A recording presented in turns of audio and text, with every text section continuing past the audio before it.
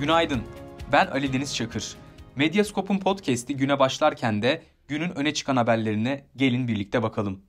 Cumhurbaşkanı ve AK Parti Genel Başkanı Recep Tayyip Erdoğan, partisinin genel merkezinde Merkez Karar ve Yönetim Kurulu toplantısına başkanlık edecek. CHP Genel Sekreteri Selin Sayek Böke ile Genel Başkan Yardımcısı Gül Çiftçi Binici parti genel merkezinde basın toplantısı düzenleyecek. Ayhan Bora Kaplan suç örgütü davasının sanığı ve gizli tanığı Serdar Sertçelik'in yurt dışına kaçırılmasına ilişkin 6'sı emniyet mensubu 11 kişi hakkında açılan davanın ikinci duruşması Ankara 13. Asliye Ceza Mahkemesi'nde yapılacak.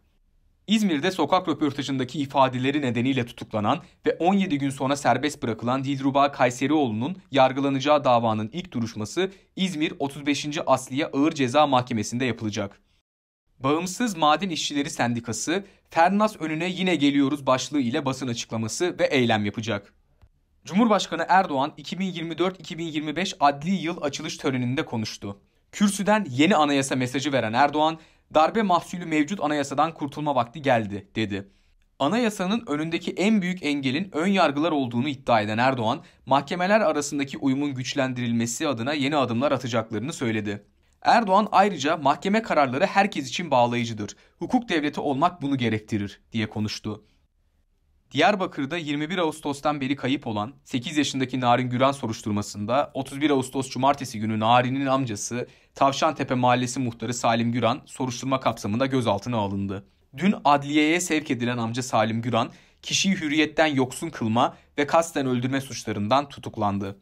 İstanbul Beyoğlu'nda narkotik polisi tarafından gözaltına alınıp işkence gören ve 3 hafta sonra tekrar ifadeye çağrılınca intihar eden Onur Yasercan'ın ölümüyle ilgili davada sanıkların işkence, cinsel saldırı ve intihara sürükleme suçlarından yargılanmaları önündeki takipsizlik kararı kaldırıldı. Güney Amerika ülkesi Venezuela'da son cumhurbaşkanlığı seçimlerinde muhalefetin adayı olarak yarışan ve seçimleri kazandığını iddia eden Edmundo González hakkında tutuklama emri çıkarıldı. Karar Cumhurbaşkanı Nicolas Maduro'ya bağlı savcılığın talebi üzerine alındı. The Cure grubunun klavyecisi Roger O'Donnell lenf kanserine yakalandı. O'Donnell kendisine çok nadir görülen ve agresif bir lefoma türü teşhisi konulduğunu açıkladı.